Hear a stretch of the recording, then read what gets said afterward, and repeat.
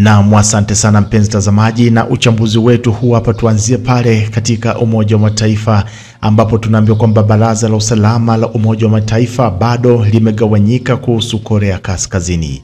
Balozi wa Korea Kaskazini ameliambia Baraza Kuu la Umoja wa Mataifa kwamba nchi yake itashikilia kwa uthabiti kabisa silaha zake za nyuklia. Wakati mzozo wa nyuklia kati ya Marekani pamoja na Korea Kaskazini ukiendelea bila ya kuwepo kwa maelewano ya kidiplomasia, baadhi ya wataalamu katika mji wa Washington wanasema kwamba kampeni ya taarifa inalenga kwamba kuishindikiza Korea Kaskazini inapaswa kuchukuliwa kama ni mkakati mbadala, huku wengine wakitahadharisha dhidi ya mwelekeo kama huo. Majadiliano yamekuja wakati Korea Kaskazini ikizidisha mivutano, huku Baraza la Usalama la Umoja wa Mataifa likiwa bado limegawanyika kuhusu namna ya kujibu vitisho ambavyo vinaongezeka katika Korea Kaskazini. Kim Song, balozi wa Korea Kaskazini katika Umoja wa Mataifa, ameliambia Baraza Kuu la Umoja wa Mataifa siku ya jana kuwa nchi yake itashikilia kwa uthabiti kabisa silaha zake za nyuklia, na akisema kwamba kamwe hatutafikia mwafaka bila kujali nani atachaguliwa kuwa ni rais ajaye katika taifa hili la Marekani mwezi Novemba. Na kule Lebanoni tunaambiwa shehena za misaada zimewasili nchini humo. Msaada huo umetolewa siku moja tu baada ya mkurugenzi mkuu wa WHO eh, kusema kwamba watashindwa kupeleka vifaa kwa sababu ya masharti ya usafiri wa ndege.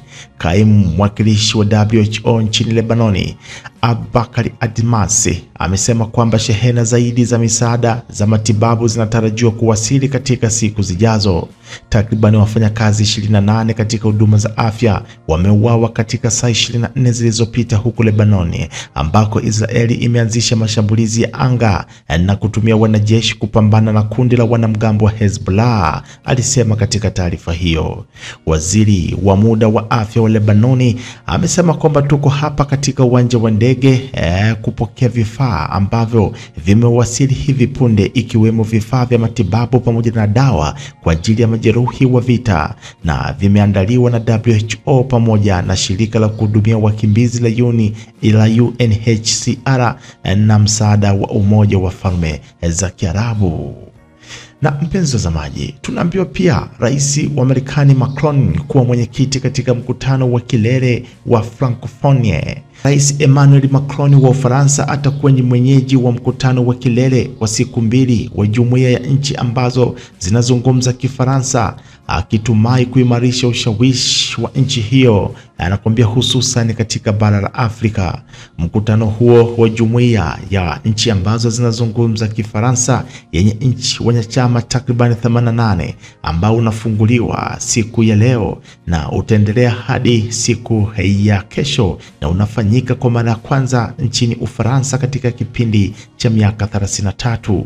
Macron anakaribishwa na viongozi hao wakati kukiwa na msukumo ambao unamwandama katika utawala wake tangu kumalizika kwa uchaguzi wa bunge na majira ya kiangazi ambao chama chake kilishindwa kupata wingi wa viti vingi kabisa ambavyo vinaunda serikali. Kadhalika, ushawishi wa Ufaransa katika bara la Afrika umetetereka kutokana na mfululizo wa mapinduzi ya kijeshi nchini Mali, Burkina Faso pamoja na Niger ambazo yaliangusha utawala ambao walikuwa na mahusiano mazuri kabisa na Paris. Na mpenzi mtazamaji, twende tukaangalie pia ambayo yanaendelea kule nchini Ujerumani. Tunaambiwa kwamba kansela wa Ujerumani Olaf Scholz amesema kwamba muungano wa nchi hiyo umepiga hatua licha ya kuwa bado unakabiliwa na changamoto kadhaa, na amesema hayo wakati wa maadhimisho ya miaka 34 ya muungano wa nchi hiyo. Akihutubia wakati wa maadhimisho hayo ya kuungana kwa iliyokuwa Ujerumani Mashariki na Ujerumani ya Magharibi, kansela huyo ameeleza namna taifa hilo ambalo linavyofanya maadhimisho hayo huku likikabiliwa na ugumu katika eh, kupambana dhidi ya itikadi kali pamoja na siasa kali za mlengo. Ameeleza wazi kuwa si Ujerumani wala Mashariki pekee ambako kuna robo tatu ya wapiga kura au wanachama ambao wanachagua viongozi wenye siasa kali.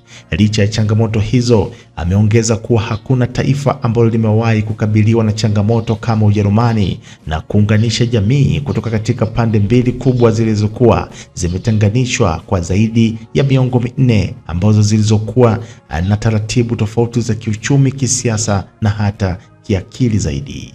Zaidi, kansela Scholz amezungumzia hatua kubwa ambayo imepigwa katika kupunguza pengo kati ya pande mbili za mataifa hayo na kusema kuwa tofauti kati ya mashariki pamoja na magharibi sio kigezo tena, hasa kwa vijana wa Ujerumani. Wakati huo huo, kiwango cha watu ambao kimeridhishwa na maisha katika pande zote kimekuwa na uwiano kwa kiasi kikubwa. Wanasema kampuni nyingi za kimataifa za teknolojia sasa zinaanza kupeleka shughuli zake Ujerumani. Scholz amesisitiza kuwa kuna haja ya kuwa na mawiano zaidi ya hali ya maisha kati ya eneo la mashariki pamoja na magharibi mwa Ujerumani. Licha ya hiyo, kansela huyo wa Ujerumani ametahadharisha kuwa wazo la muungano wa Ujerumani linaweza kukamilika kutapokuwa na usawa kati ya pande hizo mbili. Wakati huo huo, maelfu ya wafuasi wa muungano ambao wanapinga vita wamefanya maandamano katikati mwa Berlin wakati Ujerumani ikilisherekea miaka 34 tangu muungano wa pande mbili katika nchi hiyo. Maandamano hayo yameonekana yakiwa na watu wamebeba mabango ambayo yanatoa wito wa kutumia diplomasia badala ya vita na kusitisha upelekaji wa silaha nchini Ukraini. Maafisa takribani elfu moja wa polisi wamesambazwa mjini Berlin ili kuhakikisha usalama katika maandamano hayo. Wanasema kulingana na taarifa ya polisi, maandamano hayo yamehudhuriwa na takribani watu elfu kumi huku waandamanaji wakidai kuwa zaidi ya watu elfu thelathini wameshiriki. Baadhi ya waandamanaji wameonyesha mshikamano wa ukanda wa Gaza kwa kushiriki mabango ambayo yameandikwa mwisho wa vitisho na ukaliaji wa maeneo kimabavu na NATO inachochea vita pamoja na mauaji ya kimbali. Na taarifa ambayo imetufikia muda huu, mpenzi mtazamaji, tunaambiwa kwamba Beiruti sasa ni eneo la vita. Mashambulizi zaidi ya Israeli yamepiga eneo la Hezbollah katika mji mkuu wa Lebanoni. Wanasema Israeli imethibitisha mashambulizi katika kituo cha amri cha Hezbollah karibu na hospitali.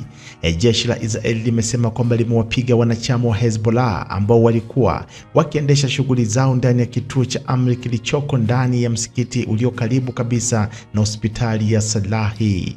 Hospitali hiyo inasema kwamba wafanyakazi wake takribani tisa pamoja na matibabu wamejeruhiwa, lakini wengine wengi walikuwa wamehamishwa kutoka katika hospitali hiyo baada ya onyo la Israeli. Wanasema kwamba hospitali hiyo imesema wafanyakazi wake tisa wa matibabu wamejeruhiwa, lakini wengine wengi wao walikuwa wamehamishwa kutoka katika hospitali hiyo baada ya onyo kali kutoka kwa Israeli. Hayo ndio yanaendelea mchana huu, mpenzi mtazamaji, baada ya jeshi la Israeli kufanya mashambulizi angani muda huu hapa.